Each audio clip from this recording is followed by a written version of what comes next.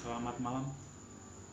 Saat ini saya akan melanjutkan membaca kitab Wahyu, yaitu dari Wahyu 3 mulai ayat yang ketujuh kepada jemaat di Philadelphia.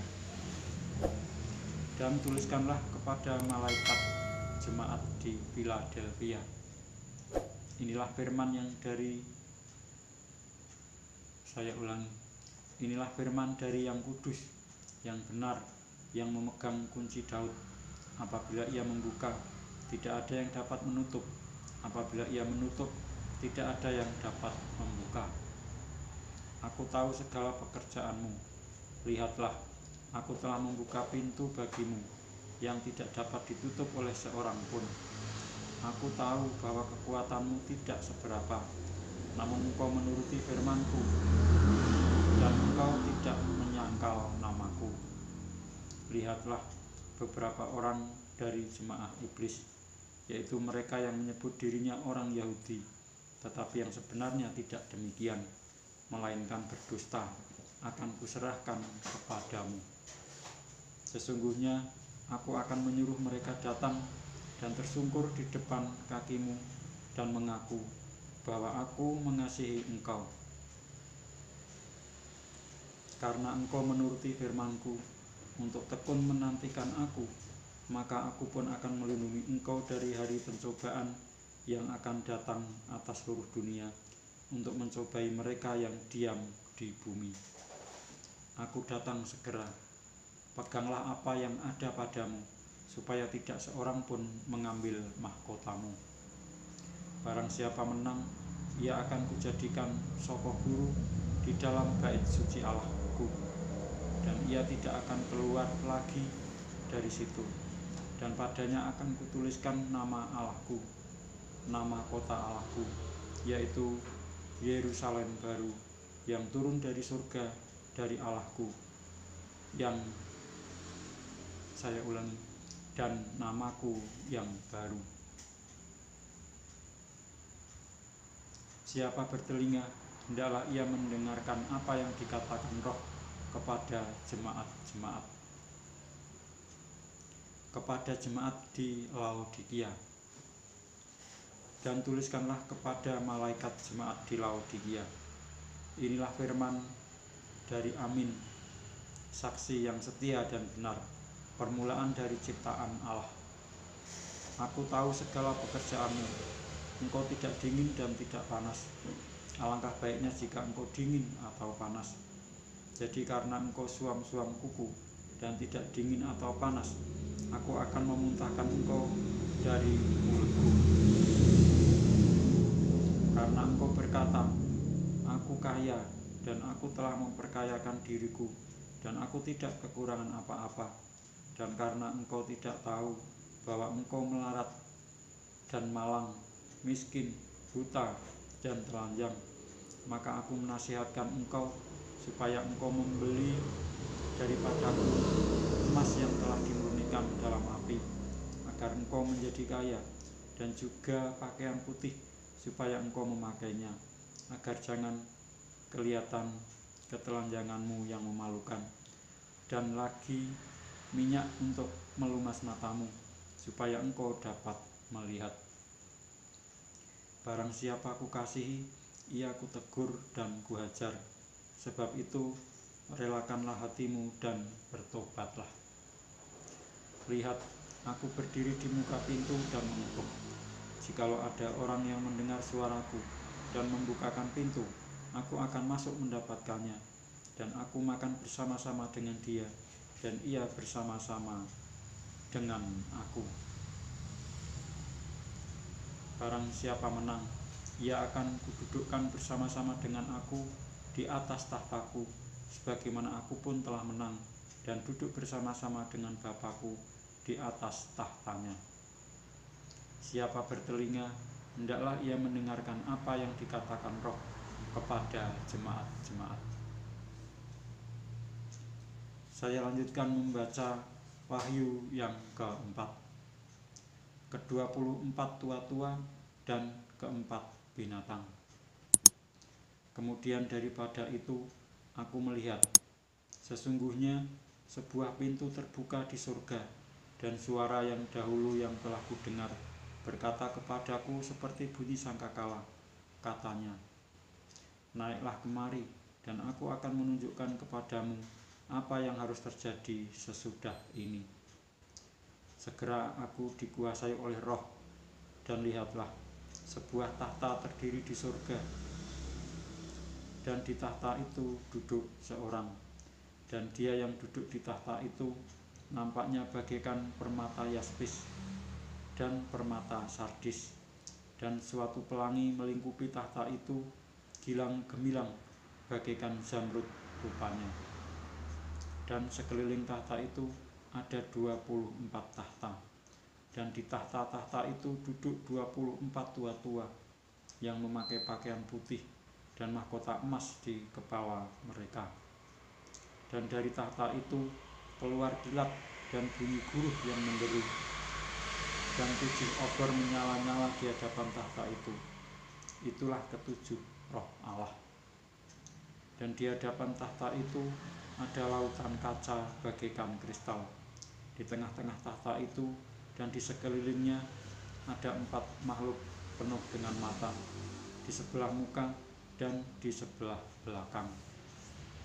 Adapun makhluk yang pertama sama seperti singa dan makhluk yang kedua sama seperti anak lembu dan makhluk yang ketiga mempunyai muka seperti muka manusia dan makhluk yang keempat sama seperti burung nasar yang sedang terbang dan keempat makhluk itu masing-masing bersayap enam sekelilingnya dan di sebelah dalamnya penuh dengan mata dan dengan tidak berhenti-hentinya mereka berseru siang dan malam kudus Kudus, kuduslah Tuhan Allah yang Maha Kuasa, yang sudah ada dan yang ada dan yang akan datang. Dan setiap kali makhluk-makhluk itu mempersembahkan puji-pujian dan hormat dan ucapan syukur kepada Dia yang duduk di atas tata itu dan yang hidup sampai selama-lamanya. Maka tersungkurlah ke-24 tua-tua itu di hadapan dia yang duduk di atas tahta itu dan mereka menyembah dia yang hidup sampai selama-lamanya dan mereka melemparkan mahkota di hadapan tahta itu sambil berkata Ya Tuhan dan Allah kami Engkau layak menerima puji-pujian dan hormat dan kuasa sebab engkau telah menciptakan segala sesuatu dan oleh karena kehendakmu semuanya itu ada dan diciptakan. Saya lanjutkan membaca Wahyu yang kelima. Kitab yang dimeterai dan anak domba. Maka aku melihat di tangan kanan dia yang duduk di atas tahta itu sebuah gulungan kitab yang ditulis sebelah dalam dan sebelah luarnya dan dimeterai dengan tujuh meterai. Dan aku melihat seorang malaikat yang gagah yang berseru dengan suara nyaring. Katanya, siapakah yang layak membuka gulungan kitab itu dan membuka meterai-meterainya? Tetapi tidak ada seorang pun yang di surga atau yang di bumi atau yang di bawah bumi yang dapat membuka gulungan kitab itu atau yang dapat melihat sebelah dalamnya. Maka menangislah aku dengan amat sedihnya karena tidak ada seorang pun yang dianggap layak untuk membuka gulungan kitab itu ataupun melihat sebelah dalamnya. Lalu berkatalah seorang dari tua-tua itu kepadaku, "Jangan engkau menangis.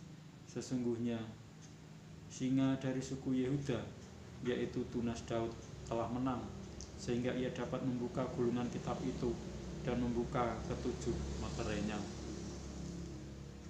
Maka aku melihat di tengah-tengah tahta dan keempat makhluk itu, dan di tengah-tengah tua-tua itu berdiri seekor anak domba, seperti telah disembelih, bertanduk tujuh dan bermata tujuh.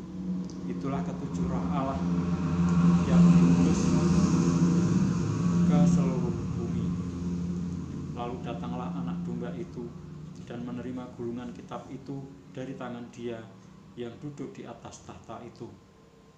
Ketika ia mengambil gulungan kitab itu, tersungkurlah keempat makhluk dan kedua puluh empat tua-tua itu di hadapan anak domba itu. Masing-masing memegang satu kecapi dan satu cawan emas penuh dengan kemenyan. Itulah doa orang-orang kudus dan mereka menyanyikan suatu nyanyian baru katanya. Engkau layak menerima gulungan kitab itu dan membuka meterai-meterainya karena engkau telah disembelih dan dengan darahmu engkau telah membeli mereka bagi Allah dari tiap-tiap suku dan bahasa dan kaum dan bangsa. Dan engkau telah membuat mereka menjadi suatu kerajaan dan menjadi imam-imam bagi Allah kita dan mereka akan memerintah sebagai raja di bumi maka aku melihat dan mendengar suara banyak malaikat sekeliling tahta, makhluk-makhluk dan tua-tua itu. Jumlah mereka berlaksa-laksa dan beribu-ribu laksa.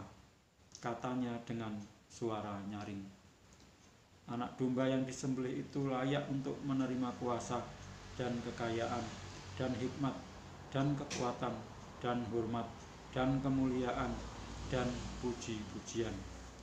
Dan aku mendengar semua makhluk yang di surga dan yang di bumi dan yang di bawah bumi dan yang di laut dan semua yang ada di dalamnya berkata bagi dia yang duduk di atas tahta dan bagi anak domba adalah puji-pujian dan hormat dan kemuliaan dan kuasa sampai selama-lamanya dan keempat makhluk itu berkata amin dan tua-tua itu jatuh tersungkur dan menyembah. Saya lanjutkan membaca Wahyu yang ke-6. Keenam meterai pertama dibuka. Maka aku melihat anak domba itu membuka yang pertama dari ketujuh meterai itu. Dan aku mendengar yang pertama dari keempat makhluk itu berkata dengan suara bagikan bunyi burung Mari, dan aku melihat, sesungguhnya ada seekor kuda putih, dan orang yang menungganginya memegang sebuah panah, dan kepadanya dikaruniakan sebuah mahkota. Lalu ia maju sebagai pemenang untuk merebut kemenangan. Dan ketika anak domba itu membuka materai yang kedua, aku mendengar makhluk yang kedua berkata, "Mari, dan majulah seekor kuda lain." seekor kuda merah padam dan orang yang menungganginya dikaruniakan kuasa untuk mengambil damai sejahtera dari atas bumi sehingga mereka saling membunuh dan kepadanya dikaruniakan sebilah pedang yang besar dan ketika anak domba itu membuka materai yang ketiga aku mendengar makhluk yang ketiga berkata mari. Dan aku melihat sesungguhnya ada seekor kuda hitam dan orang yang menungganginya memegang sebuah timbangan di tangannya. Dan aku mendengar seperti ada suara di tengah-tengah keempat makhluk itu berkata secupak gandum sedinar dan tiga cupak jelai sedinar tetapi janganlah rusakkan minyak dan anggur itu dan ketika anak domba itu membuka materai yang keempat Aku mendengar suara makhluk yang keempat berkata, Mari, dan aku melihat, sesungguhnya ada seekor kuda hijau kuning, dan orang yang menungganginya bernama Maut, dan kerajaan Maut mengikutinya. Dan kepada mereka diberikan kuasa atas seperempat dari bumi untuk membunuh dengan pedang dan dengan kelaparan dan sampar dan dengan binatang-binatang buas yang di bumi. Dan ketika anak domba itu membuka meterai yang kelima, aku melihat di bawah mesbah jiwa-jiwa mereka yang telah dibunuh oleh karena firman Allah dan oleh karena kesaksian yang mereka miliki. Dan mereka berseru dengan suara nyaring, katanya, Berapa lamakah lagi, ya penguasa yang kudus dan benar, engkau tidak menghakimi dan tidak membalaskan darah kami kepada mereka yang diam di bumi dan kepada mereka masing-masing diberikan sehelai jubah putih dan kepada mereka dikatakan bahwa mereka harus beristirahat sedikit waktu lagi hingga genap jumlah kawan-kawan pelayan dan saudara-saudara mereka yang akan dibunuh sama seperti mereka. Maka aku melihat ketika anak domba itu membuka materai yang keenam, sesungguhnya terjadilah gempa bumi yang dahsyat dan matahari menjadi hitam bagaikan karung rambut dan bulan menjadi merah seluruhnya bagaikan darah dan bintang-bintang di langit berjatuhan ke atas bumi bagaikan pohon ara menggugurkan buah-buahnya yang mentah apabila ia digoncang angin yang kencang. Maka menyusutlah langit bagaikan gulungan kitab yang digulung dan tergeserlah gunung-gunung dan pulau-pulau dari tempatnya.